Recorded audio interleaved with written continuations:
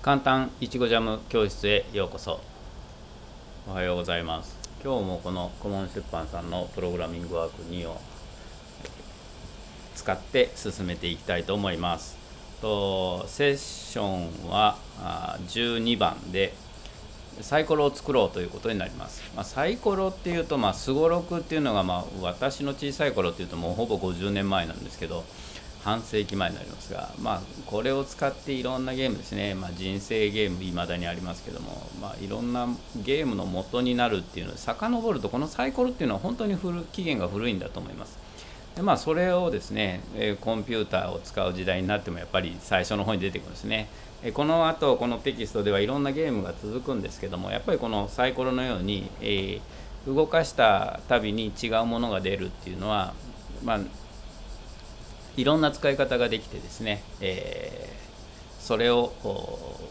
まあ、このいいタイミングで出てくるのかなという感じです。なんか喋り出すとキリがないので本編に入っていきましょう。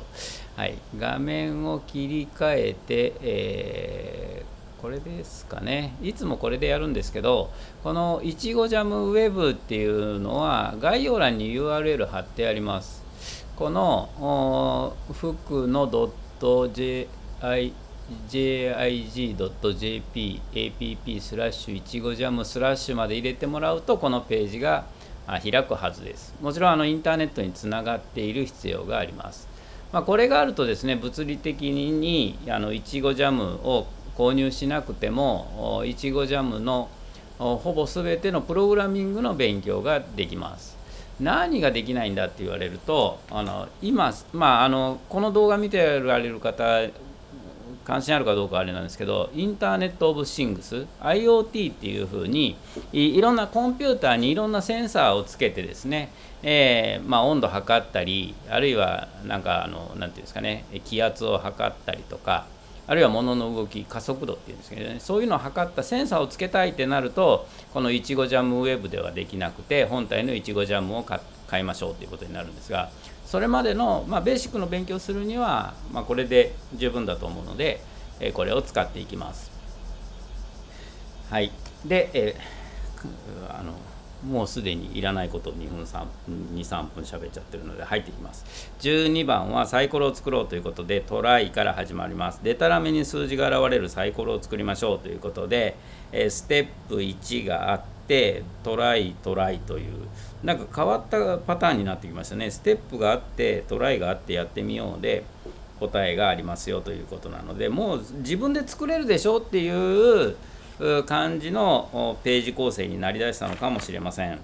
と以前は作りましょうということで、まあ、一緒にやりましょうっていうのをある程度貯めてでトライトライトライというのでちょっとドリル的なページ構成があったんですけれど今回はもうこのセッションだけで、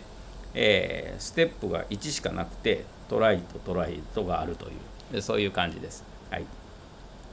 で、ランダムコマンドというのが出てきます。サイコロのようですということで、でたらめにいろいろな数字を返してきますと。とランランド、ランダムっていう英語の略でですね、音楽プレーヤーで、まあ、いろんな曲をシャッフルして、えー、順番むちゃくちゃで再生するっていうのを、なんかをランダム再生とかいうふうに言いますよね。そういうことが書いてあって、じゃあ早速10行を作って、今ちょっとプログラムはカラーですよね。とリストとやったら何も入ってないので10行でプリントの省略形にランド。で括弧の中に数字をサイコロなので6まで出るので6と入れてみましょうと。いうことで G プログラムを入れてランとすると2が出ましたと。でテキストをお持ちの方は1が出ている様子が書いてあると思うんですけどこれを何回もやるともう1回書いてもいいんですがここでもう1回ランとすると次もまた2が出るかっていうとそうじゃなくて次は1が出て次はまた2が2回目が出ましたね。3が出て4が出て3が出て3が出て5が出ました。まだ4が出てないですね。まだまた5が出ました。なかなか4が出ないです。実際のサイコロもなかなか狙った目っていうのは出ないですよね。あ0が出ました初めて。でこの、まあ、0が出るっていうのを覚えておいてほしいんですけどなかなか本当に 4, 4が出ないのかっていうぐらい4出ないですね。1が出ました。本当に4が出ないですね。壊れてるんじゃないかって思うぐらい。あやっと4が出ました。これでまあ全部0から4まで出るっていうのが分かったと思います。でこれでサイコロと違うのが6が出なくて0が出てるんですね。今もここに0が1個出ています。っていうふうにこの乱数は6っていうと6パターンということで0から5までが出るんですよね。これで6つなんです。でこれを1から6までにするのをやってみましょうっていうのが1番です。でそれでサイコロができたら今度は10から20まで出るようにしましょうと。でランで何度も実行するんじゃなくて3秒おきに今度は3から74までの数字が次々と出てくると。あ3からじゃない3秒おきに2から74これビンゴかなんかをイメージしてるんですかね。で3で作ったプログラムもランダムの数字を中央に表示させましょうと。場所は左から15上から11としますまあこれはロケート分を使いましょうかねっていうことだと思います。ということで、まあ、やってみましょうなので、まあ、ここで動画を止めてですね実際いいプログラム作ってもらって、えー、どうかなと思います。じゃあ少し待ちましょう。停止ボタンを押してくださいね。で考えてプログラム作ってみてください。はい。じゃああの続きということで、えトライで答えを見ていきます。ランランドの中に数字を入れるだけじゃダメですよということで CLS でちょっと画面を消してリストってやるとこのままじゃ0から出るので1足しちゃ足してあげればいいですよねっていうのがまあ答えです。これはまあ皆さんそう支障なく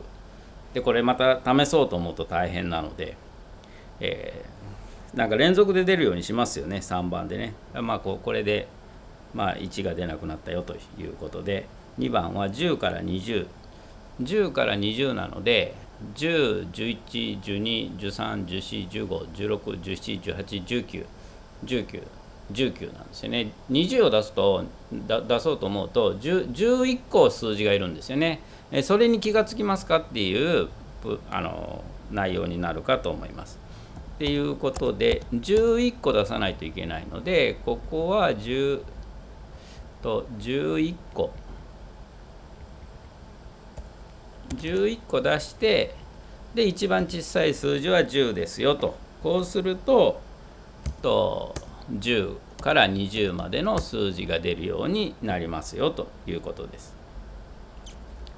で次3番はどうしましょうと3秒おきにっていうのと2から74です。2から74っていうと72個プラス1で73個いるんですよね。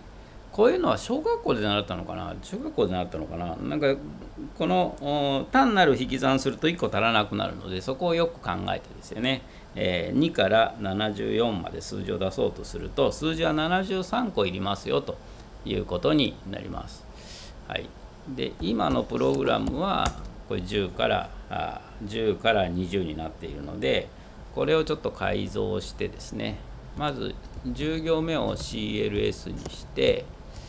画面を消して20行でプリントのランドの73個で2を足してあげてくださいと。こうすると2から74まで出ますよと。で3秒間待ってということはウェイトで3秒間なので 60×3 で180です。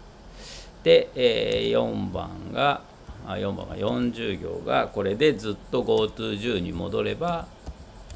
いいよというふうになります。で結構この3秒っていうのをまあ掛け算難しいっていう人は、まあ、3×60 ってこうこうこう書いてもエラーにはならずにちゃんと計算してくれて180になると思います。一回これで実行してみましょう。エラーにならないと思うんで。3秒。3秒。なんか将棋の時間でありますよね。123とかいうやつ。123123123っていう感じで3秒ごとに、まあ、CLS が入っているので画面が消えるので一番隅っこに3秒おきに違う数字が出るというふうになります。これが問題。やってみようの丸3ですね。で今度はそれを真ん中に出るようにしましょうということなのでブレイクですねとエスケープキーを押してで、えー、とリストで指定した位置ここなので画面の隅っこに出ているので、まあ、真ん中でビンゴ大会かなんかで使うときは画面の真ん中に出した方が目立ちますよね。っていうことで15の11ということにしましょう。はい、これで実行します。はい、これで49。ちょうどど真ん中に出てるような感じになってますよね。23、28というふうになっています。まあ、エスケープ、これを押してクリックしても止まります。で、まあい、いろんなあアクションを足したければ、まあ、出るたんびに音を出そうとかいうので、ビープとか、この辺皆さんだんだん応力、応用力ついてきたら、まあ、テキスト以外の